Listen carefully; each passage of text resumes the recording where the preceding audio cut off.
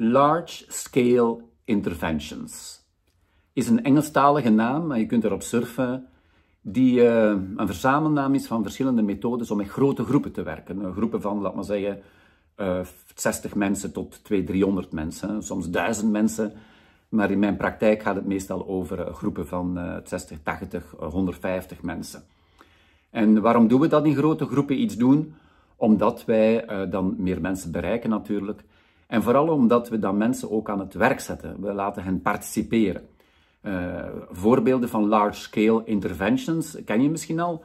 World Café, Open Space Technology, Future Search of de burgerberaden, waar dat burgers eigenlijk uh, betrokken worden bij overheidsbeleidsthema's. En die verschillende methodes verschillen op hoe ze precies te werk gaan. En in mijn toepassing van die methodes heb ik ook zelfs nog een nieuwe vorm ontwikkeld die aansluit bij wat dat vele organisaties nodig hebben om medewerkers meer te betrekken in organisatievraagstukken. En eh, de Large Scale Intervention, waar ik voor sta, bestaat uit een aantal puzzelstukken. Ik ga dat hier niet helemaal uit de doeken doen, maar ik ben zo enthousiast over die uh, methode om met grote groepen te werken, dat uh, ik daar uh, een eendaagse rond organiseer samen met HRD Academy.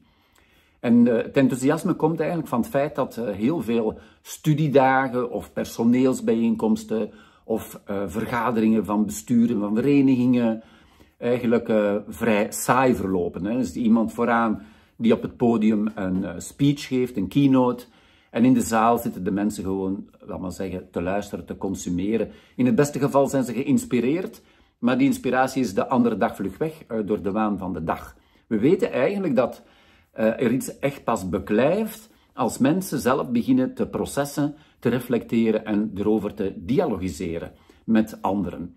Dus wat ik eigenlijk doe in zo'n grootschalige bijeenkomst, is een combinatie te maken van een inspiratie, een kader uh, de, vanuit de sponsors, vanuit de organisatie of vanuit een bestuur, en daar vervolgens facilitatie aan koppelen in subgroepen. Dus ik heb altijd een team van facilitatoren ter beschikking, die uh, samen met de organisatie uh, opgezet wordt.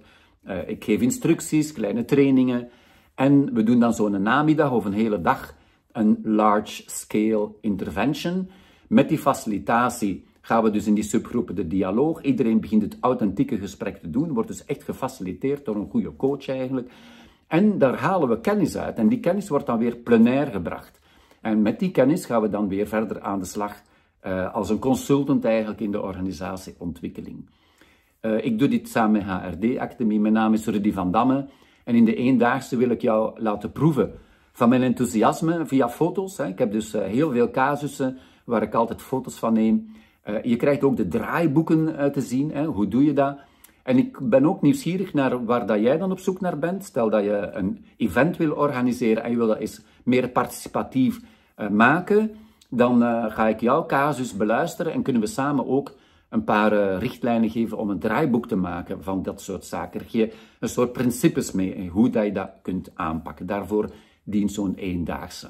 En ik spreek er dus van de ervaring die ik de laatste jaren heb opgedaan met die bijeenkomst. Ik ben er echt laaiend enthousiast van omdat je zo geleidelijk aan vanuit een kleine groep, een gangmakersgroep, een veel grotere groep kunt samenbrengen en dan nog een grotere groep. En zo begint eigenlijk een nieuw gegeven in de organisatie te rimpelen. Want dat is dan uiteindelijk de bedoeling om uh, kracht te ontwikkelen en niet, het niet te houden tot een eenmalige activiteit.